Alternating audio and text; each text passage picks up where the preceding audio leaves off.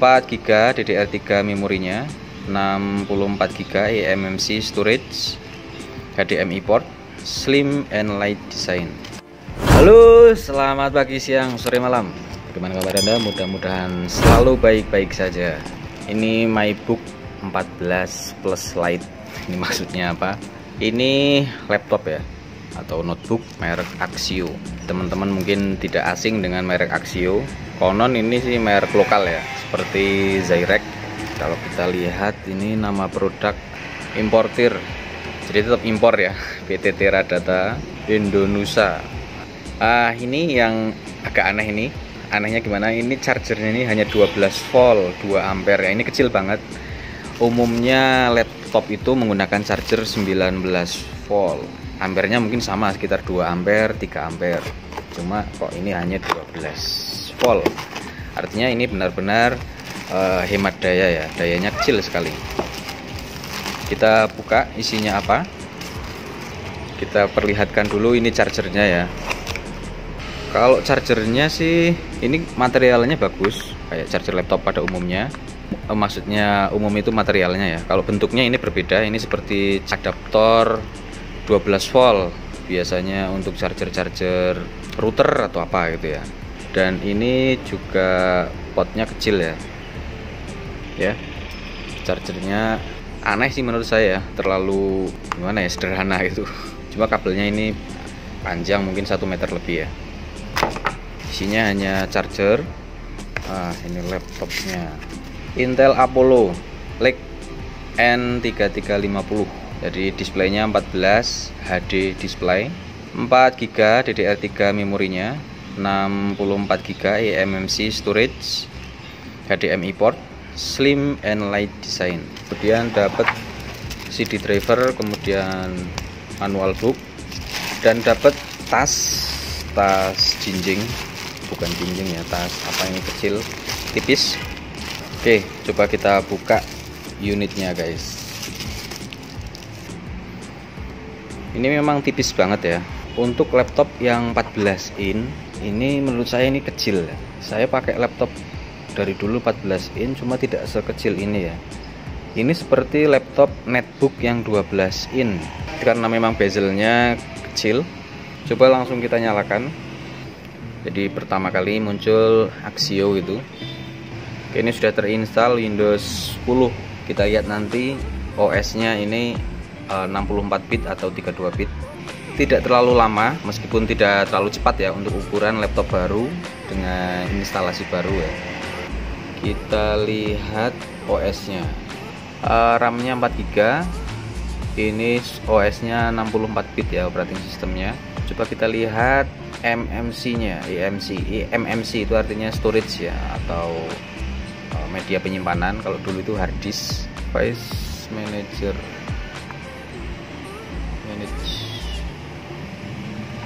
kita lihat. Ini ternyata sudah di upgrade ya. Jadi yang bawaan bawaan itu ini yang di yang di satu. Jadi disknya itu ada dua.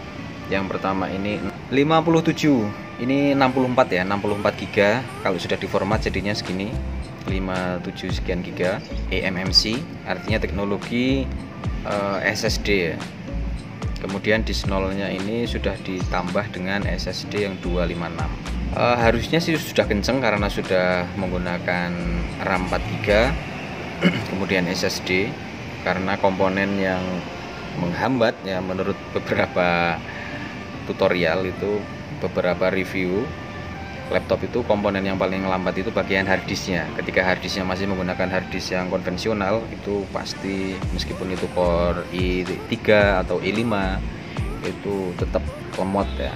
Cuma ini Eh, syarat-syarat untuk menjadi sebuah laptop yang cepat ini sudah tercapai RAM sudah 4 GB kemudian menggunakan SSD hanya ini kelemahannya ini mungkin di prosesornya atau dapur pacunya ini yang hanya menggunakan Intel Apollo atau Celeron ya kali ya.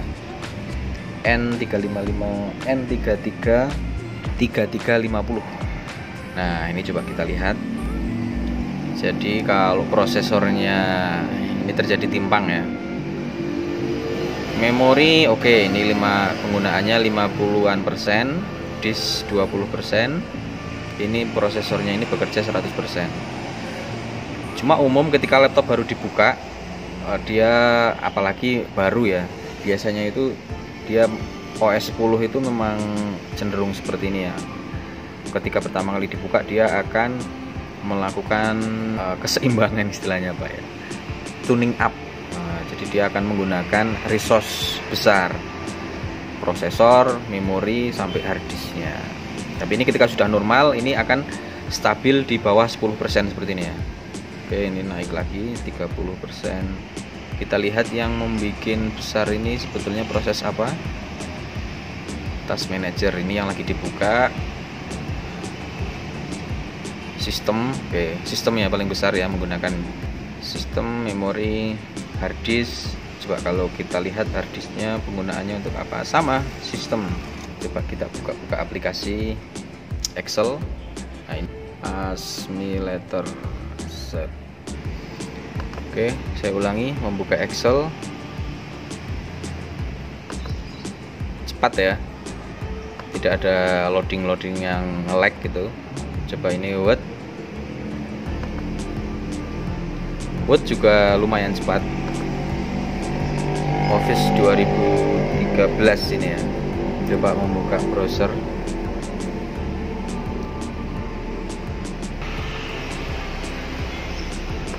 kontrol panel. Oke dari segi performa ini kalau untuk kebutuhan ngetik-ngetik ini sangat cukup sekali. Untuk tugas kuliah misalnya atau untuk sekedar membuat surat menyurat untuk pelajar ini sudah cukup ya. Uh, cuma jangan yang untuk grafis ya ke pelajarnya itu pelajar-pelajar yang untuk nulis-nulis aja browsing dan sebagainya. Cuma ketika untuk grafis ini karena hanya menggunakan Intel Celeron biasanya ini ngelak tidak akan maksimal tidak akan meskipun bisa kalau dipaksakan cuma pasti tidak direkomendasikan apalagi untuk game-game. Untuk bisnis untuk pelajar ini nyaman sekali karena ini ringan saya suka sekali. Ini sudah testimoni dari teman saya yang menggunakan Axio seri ini juga. Cuma beda varian kalau yang ini variannya yang 4 GB ada lagi varian yang 6 GB kemarin mau beli yang 6 GB di tokonya itu lagi habis adanya yang ini. Makanya ya ambil ini. Dan sekarang ya di bulan di awal tahun ini 2021 ini harga elektronik khususnya laptop itu naik senaik-naiknya. Saya tidak tahu ada juga yang menganalisis kenaikan harga-harga laptop itu karena permintaan di lapangan demandnya itu terlalu tinggi dan suplainya itu menurun karena mungkin pabriknya produksinya dikurangi. Mungkin ya saya nggak tahu. Cuma yang jelas permintaannya itu tinggi. Dengan adanya sekolah dari rumah itu siswa-siswa yang mestinya usia SD biasanya belum punya laptop mau nggak mau sekarang pada pakai laptop dan sebagainya. Makanya harga-harga laptop menjadi naik. Ini sebelumnya harga Axio ini kenapa saya pilih Axio? Karena memang harga dari sekian brand yang riset kecil-kecilan ini memang yang harganya masuk akal ini hanya Axio ya. Laptop-laptop yang biasanya kan yang mainstream itu Asus, Acer atau Lenovo. Biasanya kita beli itu di harga 5 jutaan ya. Atau 6 juta itu biasanya sudah Core i3 sekarang itu sudah nggak dapet ya. Core i3 biasanya sudah 7 juta lebih. Uh, dan itu nggak pakai SSD ya. Nah di Axio ini sudah RAM-nya sudah 4 GB uh, meskipun kebanyakan sekarang sudah 4 GB-an ya barang laptop-laptop keluaran di tahun 2020 ke atas ini bawaannya sudah 4 GB-an ke atas. Ya minimal 4 GB biasanya 4 GB ini sama menggunakan 4 GB terus sudah menggunakan SSD dan ini harganya ini di bawah 5 juta ini guys. Video dibuat dan beli laptop ini adalah di bulan Februari 2021 ini harganya 4 juta 600 ya.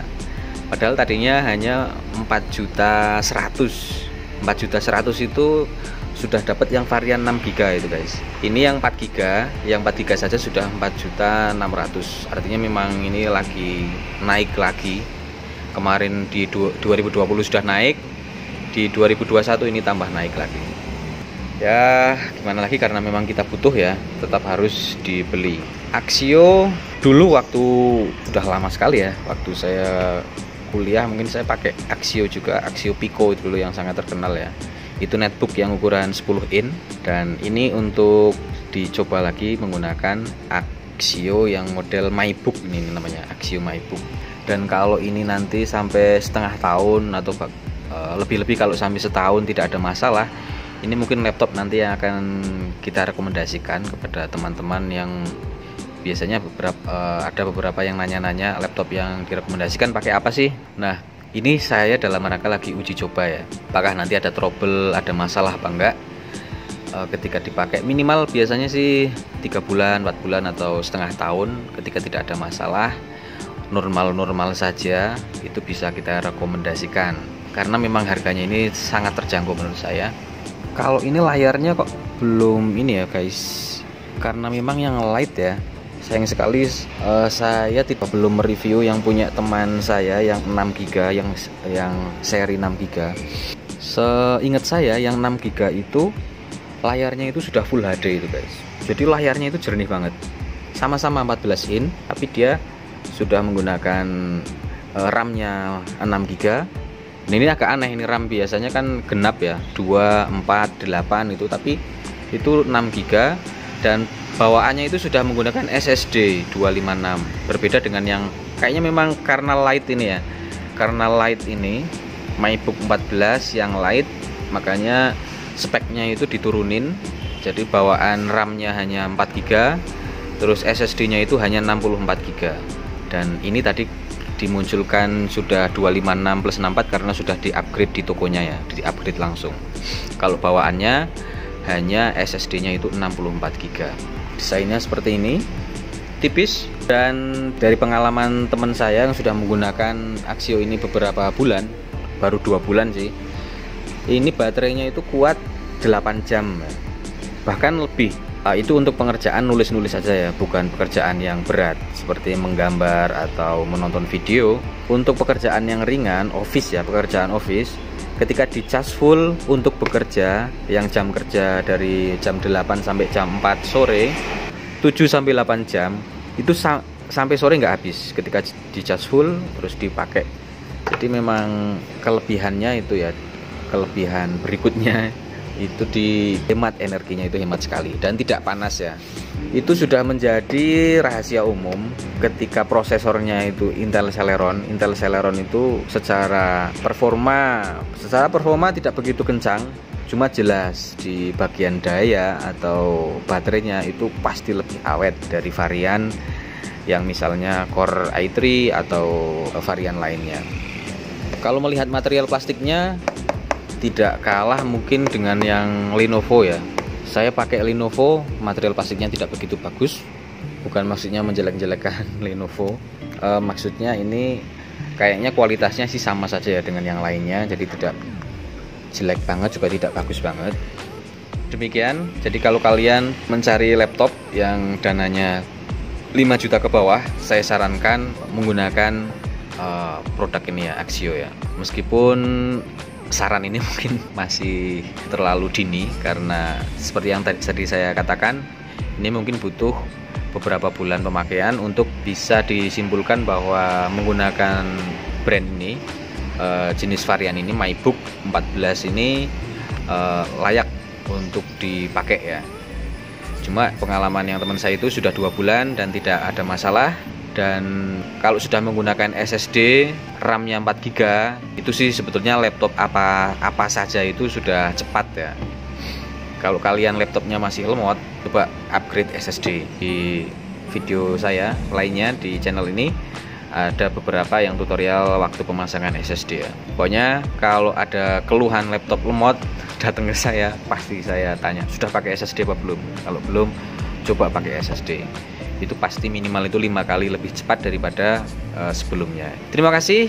Jangan lupa like, subscribe, nyalakan lonceng ya untuk mendapatkan notif video menarik lainnya. Terima kasih. Bye bye.